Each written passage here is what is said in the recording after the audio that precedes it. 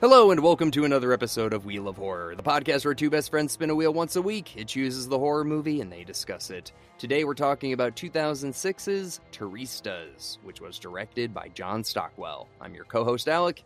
I'm Eric. Yikes. Yeah, yeah, gotcha. Yeah. Good pick, right? Gory pick. Pretty freaked you out. I mean, it's not. I don't really want to be running to Brazil anytime soon. No, no, they. I bet Brazil does not like this movie one bit. Dude, I feel like if you're a Brazilian actor, you'd probably be like, "I'm not fucking doing this."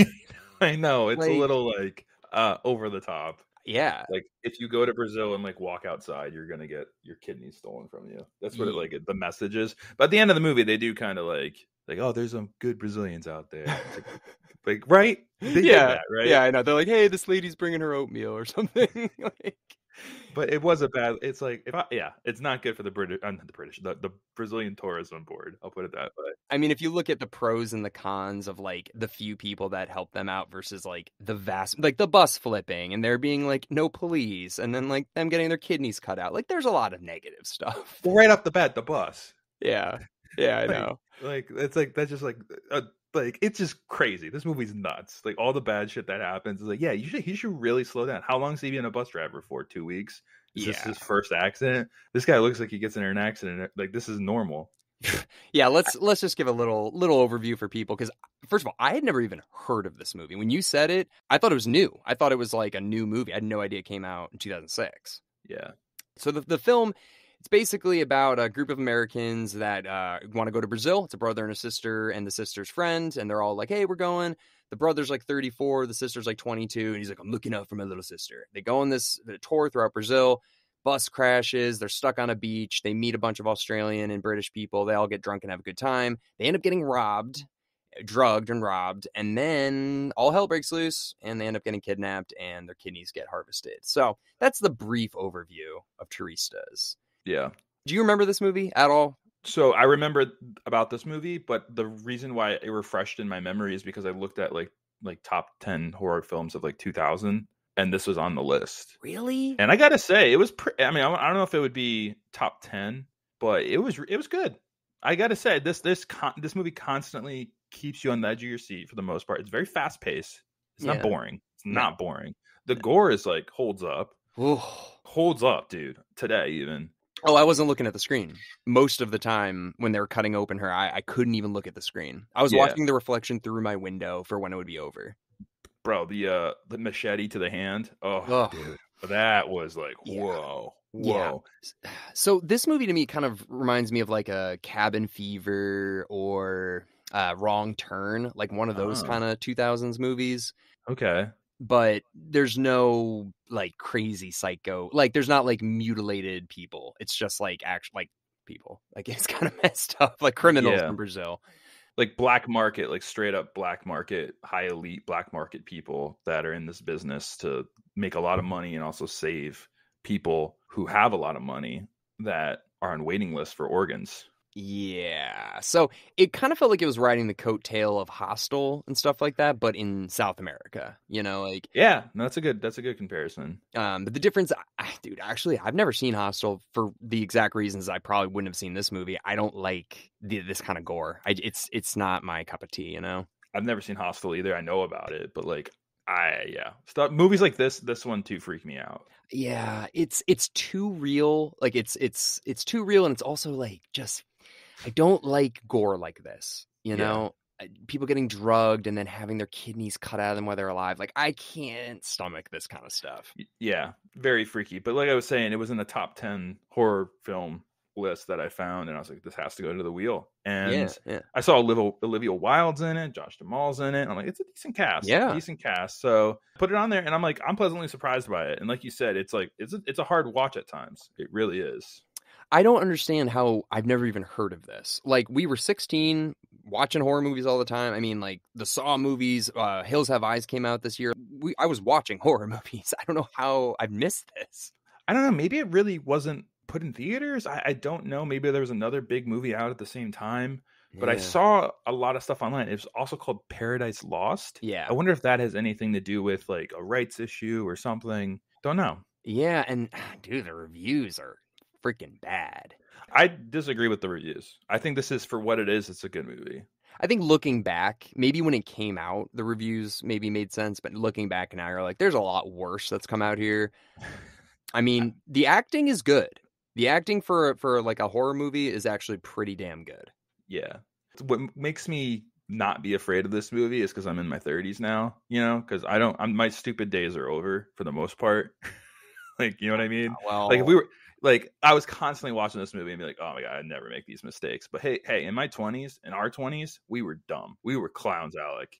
well, yeah. I mean, our trip to Hawaii. The booze cruise we did, our organs could have been shipped to Bangladesh, dude. After that, easily. But seriously, because the way that we woke up after that booze cruise, we woke up on the beach, passed out, like the hotel staff waking us up. If we weren't in America, like if we were in some country that Done. didn't speak English, like who who Done. knows? Like seriously, who no, knows? no shoes, nothing. All yeah, gone. I mean, we were 22, just blackout drunk on a beach. Like, yeah, bad stuff happens. But um, but Josh Duhamel or whatever, and uh, and Desmond Askew, the, the the British guy, they were both in their mid 30s when they went on this. So like, people are stupid still. like, I don't think it really mad. I mean, I guess like that. That's what kept me from like, oh my god, I would never make these mistakes. Like, oh, go dive headfirst into the water like that, and like the guy lit. He's from Brazil, and it looks like I I do this jump every day. Yeah, And then like he goes, he's like, fine, I'll go, I'll go, and he goes and does it, and just cracks his head open. I'm like, what is going on? Like, yeah. this is a terrible situation in every way. That scene was weird. So there's there's this one guy named Kiko, and he's a Brazilian guy, and he speaks a little bit of English, and he starts kind of flirting with Olivia Wilde, and it turns out that he's actually part of this this crew, this ar- uh, organ harvesting crew. But then he actually turns on the the bad guys, and he's like, "Yo, like these guys are actually cool. They're my friends or whatever." So you know, still fuck him, but Well, yeah, well, and he was in the original group of people that robbed them. yeah, So it's like it's like I don't trust this guy from the like the start. So yeah, and then he's like, no, let me take you to my uncle. And then you're traveling through the, the middle of the forest. Not there's no roads. It's like the middle of nowhere for I think they said ten hours. ten yeah. hours. I'd be like, you get the hell away from me, Kiko. I am going this way. Literally. no food, no water, no shoes. I would absolutely leave this asshole and just try my best to find someone. Ugh. Which they do and at the end of the movie. Ah, yeah, man. So, but anyways, back back to that scene with Kiko when he hits his head. So they're like, "Oh, we're gonna go to this house soon or whatever." Like, let's go for a fun swim though first. Like, first of all, like, no. No. I'm exhausted. I've been watching walking for ten hours. Like I Yeah. want get me to this house. He's like, No, I want to show you the caves. Yeah, and it's like, "Hey, Kiko, show me how you do the jump." And he's like, "Okay, fuck, I fucking do it." Like he's like pissed at them. And then he does it and cracks his head open on a rock. so I'm like, what the hell? Imagine like actually me and you were in that situation, and it was just like me and you and Kiko, and he just like our tour guide has been walking us through the middle of the forest, just like easily like brain damaged pretty much at, from that Oh. point. And like, where what would we do? We'd be like, oh, uh, let's get him, let's try to get him out of this uh, water, but dude, we are so screwed. I mean, we don't have any- we don't have our shoes, we don't have a cell phone, we don't have anything. So yeah, so then we, they get him to the house, and they they take a staple gun to his head. Oh my! God. Are you kidding me? It's not like a medical staple gun; it's like a package staple. gun. Yeah, that he's gonna get so infected. yeah. First of all, it's like dirty. He's got like dirty Amazon water in it. Yeah, oh exactly. Oh my god, yeah. And then he's just like, after like the third one, he's like, "Oh, like get off of me." And he's fine. yeah, well, kind of. I mean, he like lays down and then he gets up and saves everyone. Oh, I love that Ugh. though. After they staple his head, they just he goes into bed and they're like, "Wait, like, should we let him go to sleep? I think he's concussed." And they're like, "Hey, clean clothes over here." They're like, "Yeah, Kiko's fine." And then he just Kiko's put the fine. clothes on. But then doesn't he run into like the forest again? Like at one point he like runs away from his uncle. Yeah, once the uncle gets there, he's like, he tries to talk to his uncle. Kiko's like, "Hey, like, these are my friends. Like, they're actually good guys." And then he's like, "You better get out of here," sort of thing. Yeah. So they expect Kiko to run through the woods at night in the rain by himself with a head wound. And a machete. yeah, it's it's uh That was weird. ridiculous. That was Yeah. ridiculous. So anyway, so there's this there's this guy. He's like an evil Brazilian doctor, I guess, and his whole mo is capturing tourists, gringo tourists specifically, and um and harvesting their organs and, and all this stuff for elites from the first world, I guess, that are on waiting lists. He also runs like this organization of poor Brazilian people and pays them shit money to do horrible things. Which if they did not have this line in the beginning, the ending would be way worse. But they have the line where this doctor guy goes into the house with the Brazilian guy with the long hair and his girlfriend, and they're watching Hogan's Heroes. And he's like, he, he's like, You're, come on, we got a job. And he's like, I don't want to do this anymore. Remember when he said that? Yeah, that was a key line for sure. Yeah. And the guy was like, I don't want to do this anymore. And he takes out 200, whatever the, the money is there, and he puts it down. And, and he's like, All right. So he goes. Yeah, because he knows it's like ethically it's not right. And Right. Brazil is a very religious country for the most part, besides like the crime in this movie. So Yeah. it's like, I don't know. Like that's a terrible business to get into. Uh yeah. So this evil Brazilian doctor guy, he uh you know, he hires a bunch of poor people, makes them capture these these uh, Americans and, and Australians, British, and then and then does this to them. But he said a couple conflicting things when he was cutting open that first woman, where he was like, I'm doing this to like give back to Brazil. I'm like, you you're not though. You're making money. Yeah, like you're making money and you're also giving this to assumingly American rich people, not the Brazilian people that are like Yeah, it's the people in Australia that are like billionaires and the people in Europe that are billionaires that are coming to Brazil and getting these organ transplants from from American tourists. Yeah. So he was acting like he was like helping Brazil, like almost like Robin Hood for Brazilian people. But I'm like, you weren't helping anybody but yourself and and other rich people. Do you think that's what like it means like when like Mel Gibson goes to like Europe and it's like I'm going to get quote stem cells. And it's like, "Oh, are you? Are you getting some like 15-year-old's kidney?" Stem cells, you know? Well, he did. He did go to Mexico with his dad and got stem cells. And apparently, it's like, Stem cells. We'll call it that. I mean, if we want to be honest, his dad couldn't walk, and now he can't. Yeah, no, I, I'm I'm joking, but yeah, like, yeah, I don't that's a cutting off legs or anything. But he, I mean, the stem cell thing is real because it's illegal here, but it is legal in other countries. So, I mean, I don't know. kind of the same situation in some way. That's what I'm saying. Like you travel to a, a country where it's not legal, but where you can get it. I mean, Even.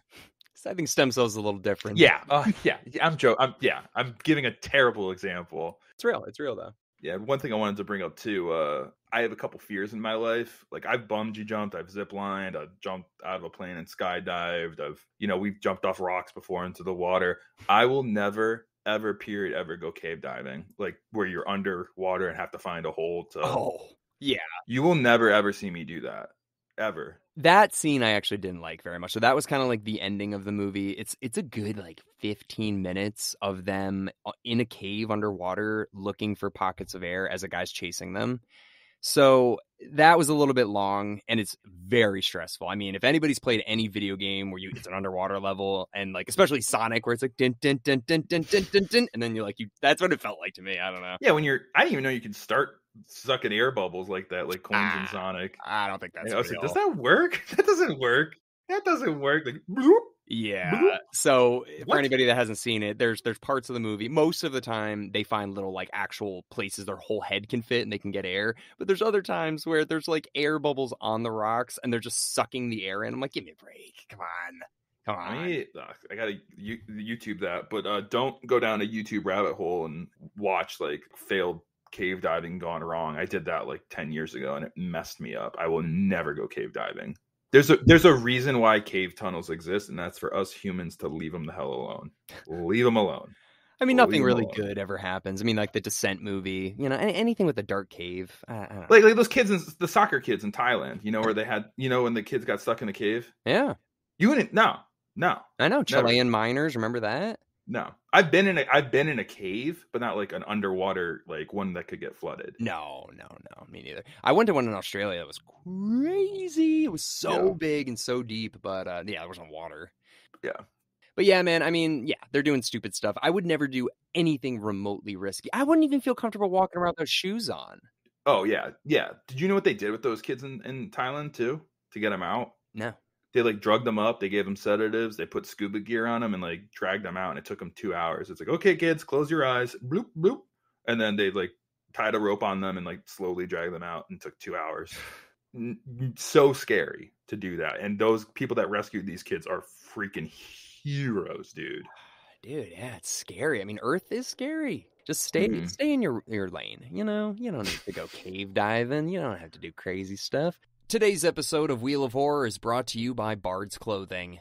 Remember that one time you bought a Cool Cat shirt, and now you get bombarded with calls and ads for Cool Cat shirts? At Bard's Clothing, the focus is on you and your story. a custom clothing company producing casual knits, button down shirts, suits, and much more. All of Bard's clothing garments are created right here in America, so you don't have to worry about slave labor or killing the environment. Buying with intention to tell your story has never been easier. Go to bardsclothing.com to book an appointment and be sure to follow them at bardsclothing on Instagram.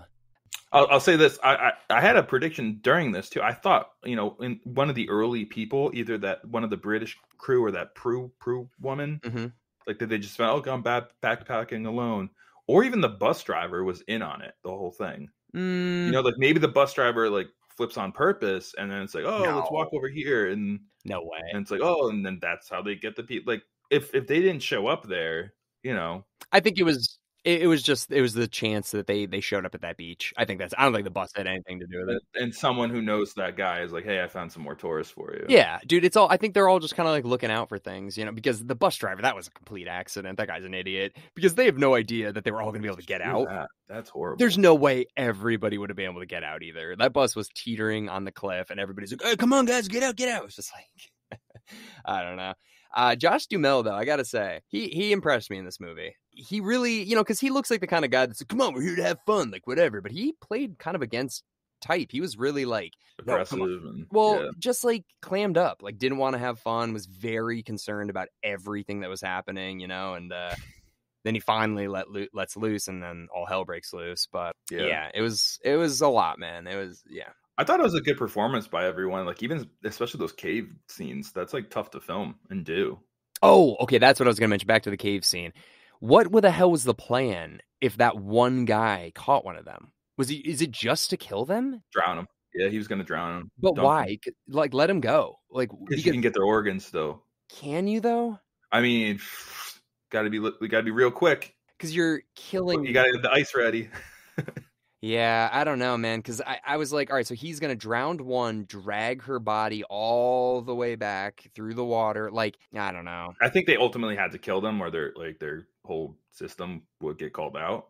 So they didn't want anyone escaping and maybe telling the authorities. It doesn't seem like there are authorities. I mean, every I mean that that dude. I mean this movie, like we said, makes Brazil look horrible. yeah, Also, like the fact there's also a scene where the dude's like eating lunch in daylight and just kills a dude in like Oh the middle of like the town. Yeah, let's talk about that scene. So, evil Brazilian doctor, his crew, the, these guys that don't want to really be doing this, they capture two of the Swedish people. So that's the thing. Were they just going to let everybody go if they got the Swedish people? That's what it seemed like. You know, it seemed like they just they captured the two Swedes because they were completely blacked out and messed up from the drugs, and then they just robbed the Americans, the British, and the Australian, and let them go. But then they went into the town, threw the rock at that kid, and then this whole thing started happening. So if they had just been like, all right, hey, let's just wait for this bus, let's just wait for this bus, then they probably would have got away.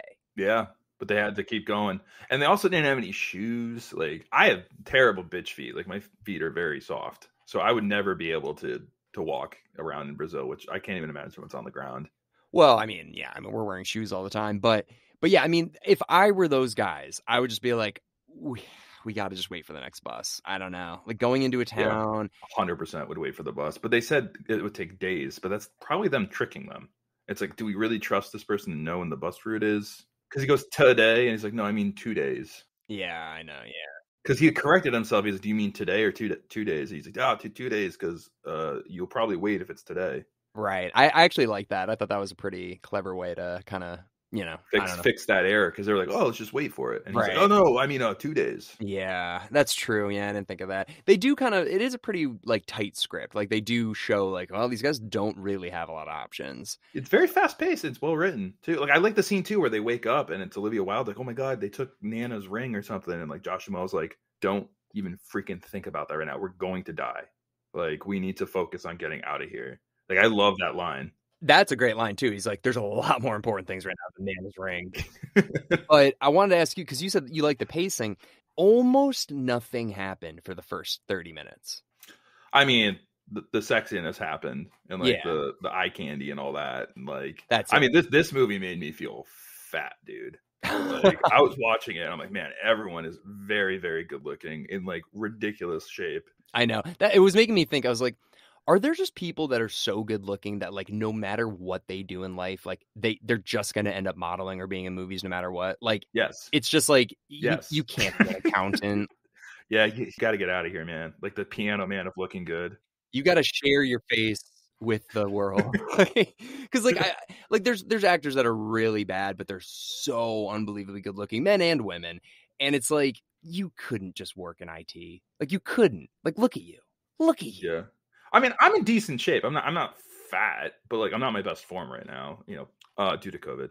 Uh, but you know, watching these like little birds bouncing around and Josh Duhamel like strut around Brazil and like this like half malnourished body. I'm like, oh, I feel like Captain Crispy Crunch. Like, ugh, i mean it, it is disgusting. it is bad that josh Duhamel is like two years older than us and he looks like Phenomenal. yeah yeah so i'm like well you know what it's good to know that like it's still possible at this age Yeah. but yeah. but all the women like wow like supermodel looks i mean everybody yeah, I think most of them are in their early 20s. I think Olivia Wilde was like 23 or 24. So Olivia Wilde and Beau Garrett and and Liam, the uh, the long haired uh, British guy, those guys were all in their early twenties. Everybody else was in their early thirties. Wow. Yeah. So um, Josh Duhamel, Prue, the Australian, and then Finn, the uh, the British guy who who gets tied up or whatever. All three of them are like thirty four. Okay. I was like, wow. So they, I liked that. I like how there was like an age gap, and you could tell, you could tell, kind of like Beau Garrett and Liam were a little bit more like carefree and fun, and Olivia Wilde was still pretty. You know, she was she was there to have a good time, but I think she knows shit was going bad too. Yeah. Yeah. Prue though, I liked Prue. I liked her. I want to know more about her. I thought she was going to be in it. I thought she was going to be in on it. Like the trick, the tricky, like fake tourist, like the Oh. American that joined them. That's what I thought. I didn't trust her. Hmm. Yeah, I mean, she. Yeah, I mean that that was the thing though. She spoke fluent Portuguese, so you'd think that she'd be like Kiko. Let's let's really talk. Like let's really talk. What are we doing? Yeah. Like what the hell are we doing? Not like broken English, so I don't really understand. Like you both are speaking the same language. Have a real conversation. Yeah. Um, because dude, ten hours in the in the jungle with no food and water, like that's just it's it's insane. Like that's insane. There's no way Yeah. you do that. And then especially right when you get there, and he's like, no, no, no, we shouldn't go to this house. We shouldn't go to this house. And they're all like, well, we're so far. It's like he's warning you now.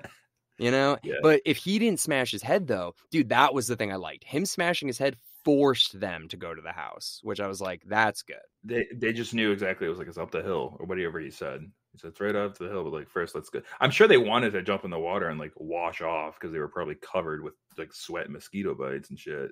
Yeah, but I think Kiko, if he didn't hit his head, I think he probably would have been like, no, no, no, we're not going, we're not going. The bad men, bad men. Like he eventually He was starting to do that. he was, but then when he hit his head, I'm like, that was very smart of the writers to be like, we're we have to create some sort of thing that forces them to go there. You know, Yeah. I, I did like that. But I don't understand. They get to this house, which is a creepy ass house with just Security, like, yeah, drugs and passports and just it's just it's a crazy place. Why the hell were those guys not there already? I mean, clearly with all that technology, there would be a phone there. Yeah, Clearly, so you would need to call someone immediately. dude, they have a helicopter.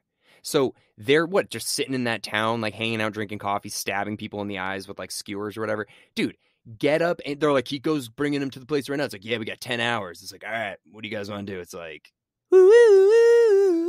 like, what are they doing? Partying? Like, what the hell are they doing for 10 hours? Get on the helicopter and go and be there when they get there.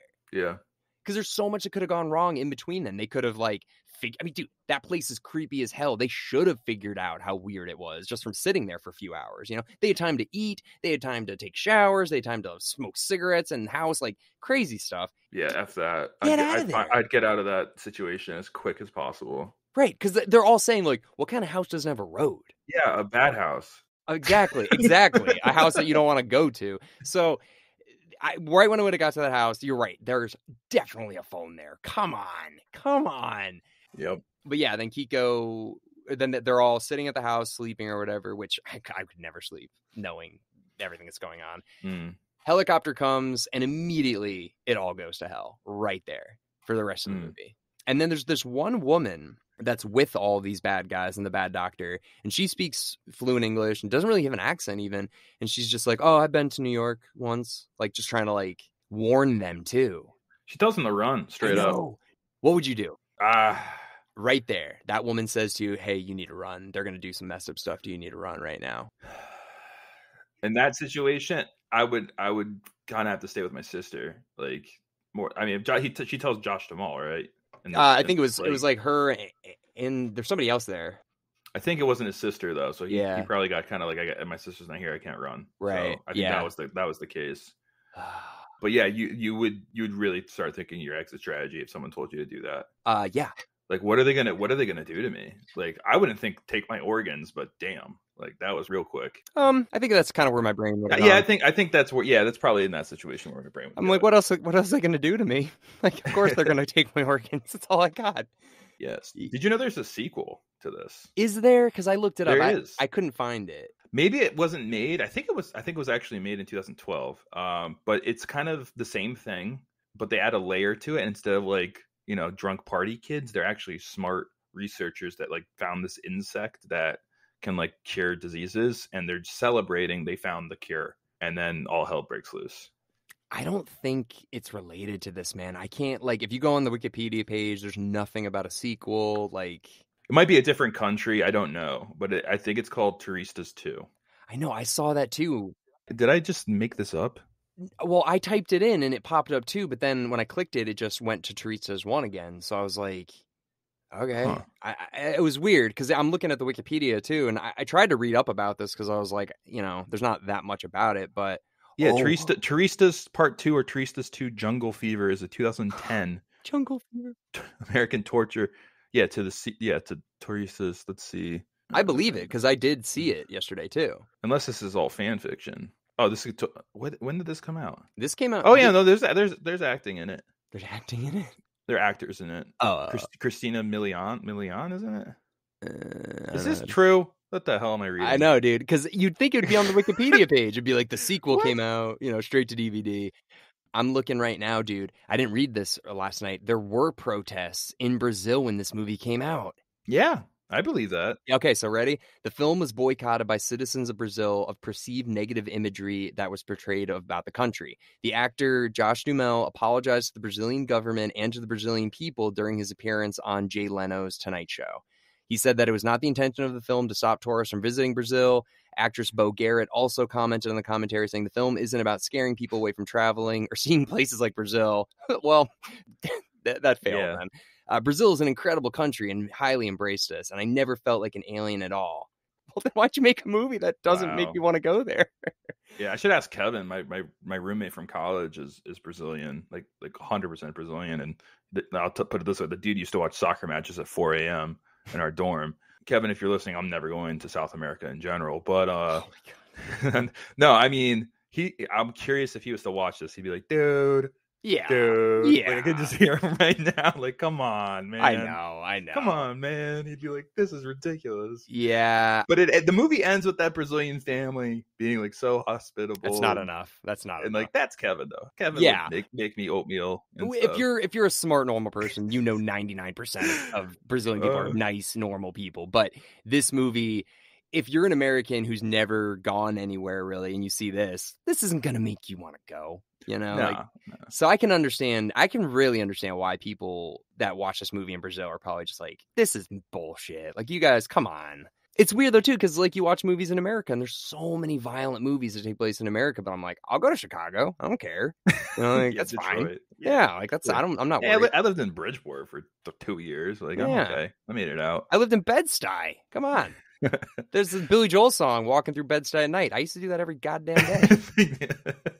But Uh, it's, yeah, so I don't know. I think it's just kind of, you know, obviously there's a language barrier. That's a huge thing. There's a huge cultural difference. mm, Clearly, there's just like not a lot of power and running water and police and things that we're very accustomed to. This movie did not make it seem like those are readily accessible anywhere. But eh, this is not what I think about Brazil, obviously. no, you know, no. But that Machu Picchu. I don't think that's there, but I'm kidding. you said that last night. I think you texted that. Like, sorry, Machu. You're like, sorry, Machu Picchu. I'm not going to see you after watching this movie. yeah, it's in Peru. Machu Picchu's in Peru. Yeah, yeah. I'm yeah. No, sorry. you're right though. You're right. I did say that. I was like, well, I guess I'm never going to Machu Picchu. it looks beautiful, but yeah, I don't know. But anyways, this movie the budget was 10 million and it made 14 million. So it made it a little bit back. It didn't do very well, but I'm kind of surprised they didn't make a straight to DVD sequel. Hmm. If it made four million, I mean, Eh. I don't know. Could be tough. Yeah, you know, and maybe the backlash really did make them be like, we shouldn't keep doing this. Yeah, You know, I, I would say there was some backlash for this one. It's a little aggressive on how bad it makes Brazil look. But um, right. real quick before we wrap up, I have um a sequel idea. Good. Let's hear it. Not not the one that may or may not exist. Um, it's more of a merger. So let me set the scene real quick. Yeah. Same shit happens. It's in Brazil. Bunch of young hotties are traveling, partying, getting drugged. You know, they get end up in the organ harvester, and then one of the boys, he's trying to pull it together, and he convinces the harvester about his uncle, and he's like, "My uncle's extremely wealthy. He will transfer